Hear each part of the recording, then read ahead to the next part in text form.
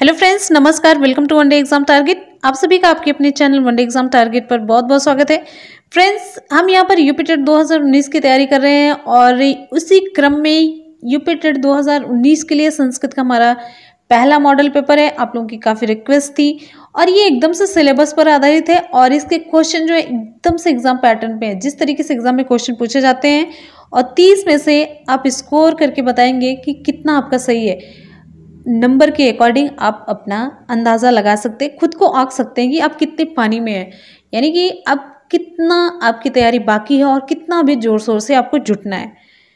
तो फ्रेंड्स, आपके फीडबैक पे डिपेंड करता है कि हम आगे ये वीडियो अपलोड करेंगे कि नहीं। आपके लाइक के बटन से पता चलेगा। आप लोग लाइक का बटन ज़रूर प्रेस कीजिएगा और दोस्तों में शेयर करना बिल्कुल भी ना भूलिएगा। चलिए स्टार्ट करिएगा, ठीक है?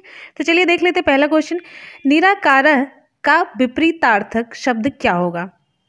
स्थूल साकार, आड़ू, सार्थक। तो ऑप्शन हमारा एक का सही होता है बी सार्थक। नेक्स्ट क्वेश्चन की तरफ़ चलते हैं। क्वेश्चन नंबर दो। गात्रम का पर्यायवाचक शब्द कौन सा है? शरीर, अंग वपु वक्र। तो दो का हमारा ऑप्शन सही होता है ए शरीर। नेक्स्ट क्वेश्चन नंबर तीन की तरफ़ चलते हैं।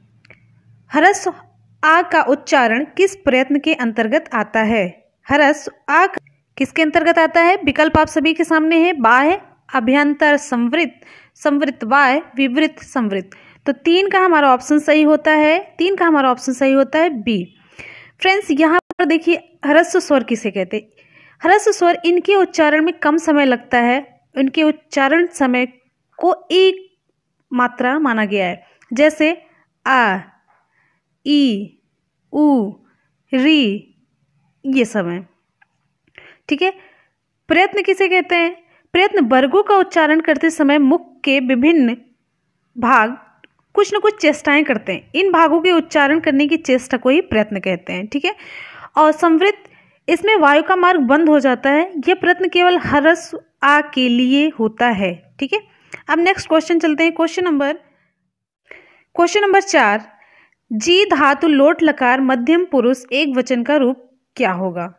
जिग, जग, जय जस तो चार का हमारा ऑप्शन सही होता है सी ठीक? क्वेश्चन नंबर पाँच की तरफ़ चलते हैं। पृथक होने के अर्थ में किस विभक्ति का प्रयोग होता है? चतुर्थी विभक्ति, पंचमी, तृतीय, षष्ठी। तो पाँच का हमारा ऑप्शन सही होता है बी पंचमी विभक्ति का प्रयोग होता है। नेक्स्ट क्वेश्चन नंबर सिक्स की तरफ़ चलते हैं। संभूय पद में किस प्रत्यय का प्रयोग हुआ है? क्वेश्चन नंबर सिक्स लेप प्रत्यय का यहाँ पर प्रयोग हुआ है। छह का हमारा ऑप्शन सही होता है ए अब क्वेश्चन नंबर आठ की तरफ़ चलते हैं। सॉरी, सात की तरफ़ चलते हैं। मुनि श्रेष्ठ पद में कौन सा समास है? तो यहाँ पे सात का हमारा ऑप्शन कौन सा सही होता? है सप्तमी, षष्ठी, पंचमी, चतुर्थ। तो सात का हमारा ऑप्शन सही होता है ए सप्तमी तत्पुरुष का। ठीक है? नेक्स्ट क्वेश्चन नंबर आठ की तरफ़ चलते हैं। तट्टी का, पद का संधि विच्छेद क्या है? विकल्प आप सभी के सामने है। तो आठ का हमारा यहाँ पर ऑप्शन सही होता है बी तत्, धन, टीका। नेक्स्ट क्वेश्चन की तरफ़ चलते हैं। क्वेश्चन नंबर नाइन अधिहरी में किस उपसर्ग का प्रयोग हुआ है? अधिहरी में किस उपसर्ग का प्रयोग हुआ है? आधा, आधी, आधे, अ। तो नौ में यहाँ पर कोई विकल्प इससे मैच नहीं कर रहा तो यहाँ पर होगा आधी। ठीक है? तो आधी उपसर्ग का प्रयोग हुआ है। ठीक है? क्वेश्चन नंबर दस की तरफ़ चलते हैं। क्वेश्चन नंबर दस में है, हरिप्रिया का पर्यायवाची शब्द होगा। हरिप्रिया का पर्यायवाची शब्द क्या होगा? लक्ष्मी, सरस्वती, यमुना, गंग। तो दस का हमारा ऑप्शन सही होता है, ए, लक्ष्मी। क्वेश्चन नंबर ग्यारह की तरफ़ चलते हैं। स्था धातु, लट लकार, प्रथम पुरुष द्विवचन का रूप क्या होगा? तिष्ठेयु, तिष्ठथ, तिष्ठेव, तिष्ठेम। तो ग्यारह का हमारा ऑप्शन सही होता है बी तिष्ठथ। ठीक है? क्वेश्चन नंबर बारह की तरफ़ आते हैं। सभी स्वरों का आभ्यंतर प्रयत्न क्या है? सभी स्वरों का आभ्यंतर प्रयत्न क्या है? संवृत अर्धसंवृत विवृत अर्धविवृत तो बारह का हमारा ऑप्शन कौन सा सही होता है यहाँ पे? सी विवृत। क्वेश्चन नंबर तेरह की तरफ़ आ जाते हैं। लेखा पद में कौन सा प्रत्यय है? यत ल्यप। तो तेरह का हमारा ऑप्शन सही होता है बी क्वेश्चन नंबर चौदह की तरफ़ आते हैं। बाल बालकेभ्या मिष्ठानम रोचते। में रेखांकित पद में कौन सी विभक्ति का प्रयोग है? रेखांकित पद बालकेभ्य। तो यहाँ पे तृतीया, पंचमी, चतुर्थी, षष्ठी। चौदह का हमारा ऑप्शन कौन सा सही होता है? चतुर्थी। एकदम से क्लियर पता चल रहा है? बालक का रूप अगर याद है तो। क्वेश्चन नंबर पंद्रह। क्वेश्चन नंबर पंद्रह, रामस टीकते पद में कौन सी संधि है? जसत्व स्थित्व विसर्ग स्थित्व कौन सी संधि है? तो रामस टीकते में ऑप्शन हमारा यहाँ पे पंद्रह का सही होता है बी ठीक है? अब स्थित्व संधि में क्या होता है? जब सा के बाद, छोटे सा के बाद ये खटकोड़ वाला सा आए, अथवा सा के बाद टा वर्ग। सा के बाद टा वर्ग आए। टा वर्ग यानी टा, ठ, ड, ढ आए। तो संधि करते समय सा को, इस छोटे सा को किसमें बदल देते हैं? शाह में बदल देते हैं, ठीक है? तो जैसे आप रामस टीकते में रामस प्लस टीकते तो लास्ट में यहाँ पे सा आया रामस प्लस टीकते का यहाँ पे टा आता है तो किसमें बदल गया? ये खटकोड़ वाले शाह में, ठीक है? अब इसी का एग्ज़ाम्पल इससे पहले था, तत् टीका में तो तत् प्लस टीका, ये भी अस्तित्व संधि का था, ठीक है? अब क्वेश्चन नंबर सोलह की तरफ़ आते हैं। प्रतिदिनम पद में कौन सा समास है? प्रतिदिनम पद में कौन सा समास है? कर्मधारे, बहुब्री, अव्ययी, तत्पुरुष। तो यहाँ पे सोलह का हमारा ऑप्शन कौन सा सही होता है? सोलह का हमारा ऑप्शन सही होता है सी, अव्ययी भाव समास। क्लियर है? क्वेश्चन नंबर सत्रह। क्वेश्चन नंबर सत्रह की तरफ़ आते हैं। पठिता में धातु प्रत्यय है। पठिता में धातु प्रत्यय है कौन सा? विकल्प आप सभी के सामने है। पठ प्लस कत्वा पठ प्लस कत पठ प्लस घई, प्लट पठ प्लस ल्यूट। तो सत्रह का यहाँ पर हमारा ऑप्शन सही होता है बी। ठीक है? सत्रह का हमारा ऑप्शन सही होता है बी। पठ प्लस कत प्रत्यय।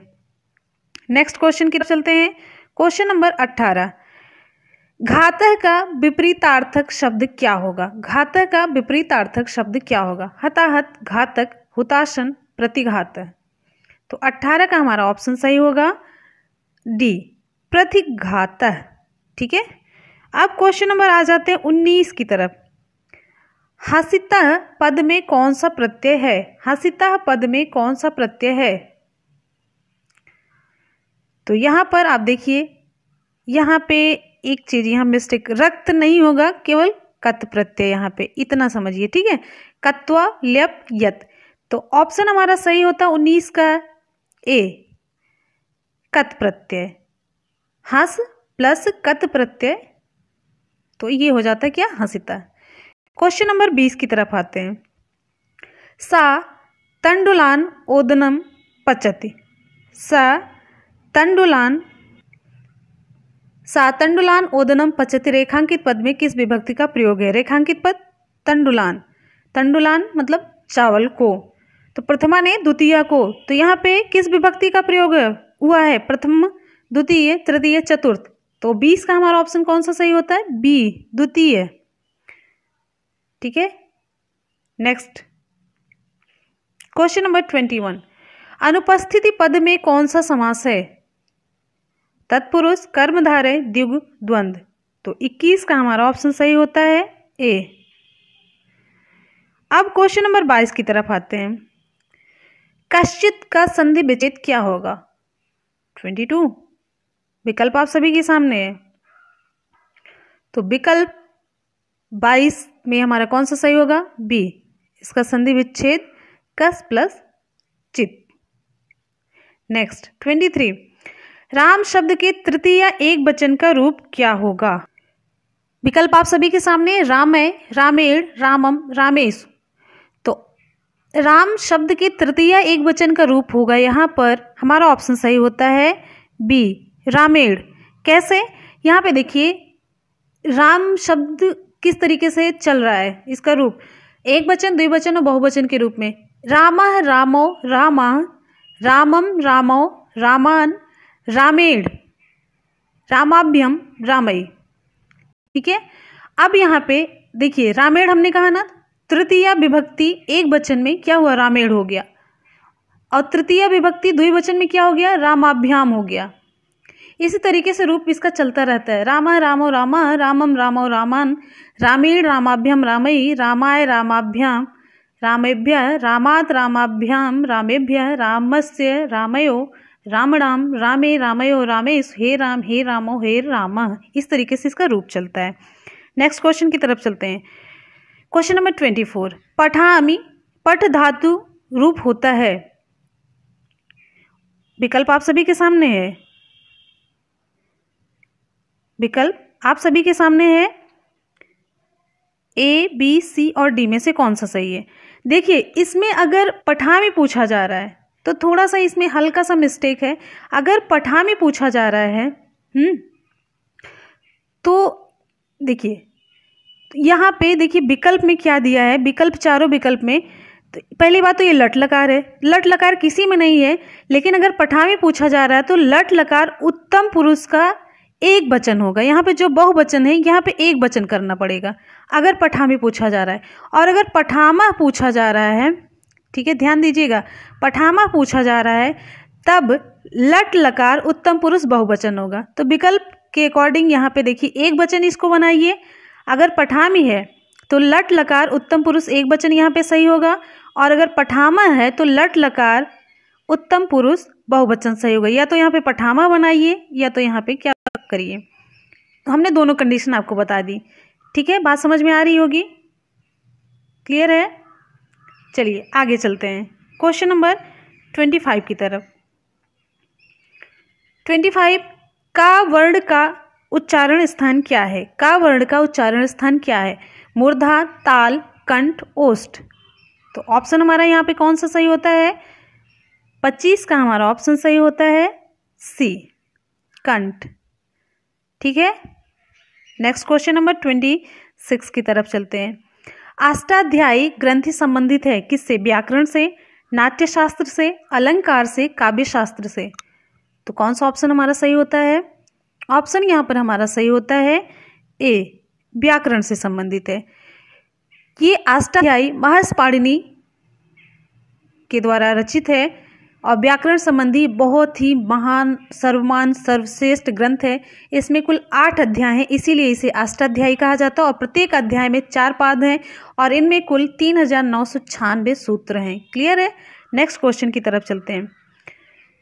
क्वेश्चन नंबर ट्वेंटी सेवन अष्टाविंशति शब्द का अर्थ होता है। अष्टाविंशति शब्द का क्या अर्थ होता है? अठारह, अट्ठाईस, अड़तीस, अड़तालीस। तो सत्ताईस का हमारा ऑप्शन कौन सा सही होगा? सत्ताईस का हमारा ऑप्शन सही होता है। बी अट्ठाईस होता है, ठीक है? और अट्ठारह का क्या होता? है अष्टादश होता है, ठीक है? और अट्ठाईस का, आप सभी को भी पता चल गया, अष्टाविंशति होता है। और अड़तीस का क्या होता? है अष्टात्रिंशत होता है। और अड़तालीस का अष्टा चतवारिंशत होता है। क्लियर हो गया? नेक्स्ट चलते हैं। क्वेश्चन नंबर ट्वेंटी एट की तरफ़। पावक शब्द का संधि विच्छेद होता है। पावक शब्द का संधि विच्छेद क्या होता है? यहाँ पे विकल्प आप सभी के सामने। प, धन, आवक, पा प्लस आवक, पौ, धन, अक, पो, धन, अक। तो यहाँ पर हमारा अट्ठाईस का ऑप्शन सही होता है। सी पौ, धन, अक। और इसमें किस संधि का प्रयोग हुआ है? आप सभी बताइएगा कमेंट सेक्शन में, आप सभी से पूछ रहे हैं, ठीक है? इसमें, चलिए, पौधा नका में अ प्लस अ मिला है, अ और अ प्लस अ। मिलकर क्या हो जा रहा है? आ हो जा रहा है, ठीक है? Next question number twenty nine की तरफ़ चलते हैं। आप सभी को संधि पता चल गई होगी। नेक्स्ट ट्वेंटी नाइन जगदीशा में किस सूत्र से संधि हुई है? इसमें सूत्र पूछा जा रहा है उस संधि का। जो संधि है, उसका सूत्र क्या है? तोरली मोनस्वार खरिच, झलाम, जसवंते। झलाम, जसवंते। तो कौन सा ऑप्शन हमारा सही होगा? ट्वेंटी नाइन का हमारा ऑप्शन सही होता है डी झलाम जशोअंते ठीक है? इसका संधि विच्छेद क्या होगा? जगत प्लस ईस ठीक है? चलिए आगे चलते हैं। Question number thirty. संस्कृत के प्रत्येक लकार के पुरुष होते हैं। संस्कृत के प्रत्येक लकार के पुरुष होते हैं। कितने? दो, तीन, चार, पाँच। ऑप्शन हमारा सही होता है। तीस का हमारा ऑप्शन सही होता है। बी, तीन। संस्कृत में प्रत्येक लकार में तीन पुरुष होते हैं। कौन कौन से? प्रथम पुरुष, या अन्य पुरुष जिसे कहते हैं, दूसरा मध्यम पुरुष और तीसरा उत्तम पुरुष। ठीक है? जिन क्रियाओं का प्रयोग प्रथम पुरुष के कर्ता अथवा कर्म के साथ होता है, यानी कि सहता होते उन्हें प्रथम पुरुष की क्रिया कहते हैं। जिन क्रियाओं का प्रयोग मध्यम पुरुष, त्वम, युवाम, युवम के कर्ताओं के साथ होता है, वे मध्यम पुरुष की क्रियाएँ कही जाती हैं। और जिन क्रियाओं का प्रयोग उत्तम पुरुष के कर्ताओं, अहम, आवाम, वयम अथवा कर्म के साथ होता है, वे उत्तम पुरुष की क्रियाएँ कही जाती हैं। क्लियर हो गया? तो फ्रेंड्स ये रहे आपके पूरे थर्टी क्वेश्चन बहुत ही इंपॉर्टेंट आपको डिस मतलब व्याख्या के साथ भी हमने आपको समझाया है, ठीक है? अब आज के सवाल की तरफ़ आ जाते हैं। आज का सवाल, अगर आप लोगों ने क्विज अच्छे से अटेम्प्ट की होगी तो अच्छे से रिप्लाई भी कर पाएँगे। आज का सवाल, स्थावर का विपरीत तार्थक शब्द क्या है? पशु खग, जंगम विहग तो ऑप्शन हमारा एक का कौन सा सही होता है? आप लोग कमेंट सेक्शन में कमेंट करके ज़रूर बताइएगा। आपके कमेंट का और फीडबैक का हमें इंतज़ार रहेगा। क्वेश्चन कैसे लगे ज़रूर बताइएगा। और फ्रेंड्स ज़्यादा से ज़्यादा लाइक और शेयर करना ना भूलिएगा। आप सभी जानते हैं वीडियो को बनाने में बहुत मेहनत लगती है और अलग से टाइम निकालना कितना मुश्किल होता है। बहुत बिज़ी शेड्यूल के बाद भी। तो कम से कम एक लाइक और एक शेयर अपने व्हाट्सअप और फेसबुक पर पेज पर ज़रूर कीजिएगा। ठीक है? मिलते हैं फिर नेक्स्ट वीडियो में। तब तक के लिए good bye take care thank you so much पढ़ते रहिए, मेहनत करते रहिए, सफलता ज़रूर मिलती है। इसी के साथ ही गुड बाय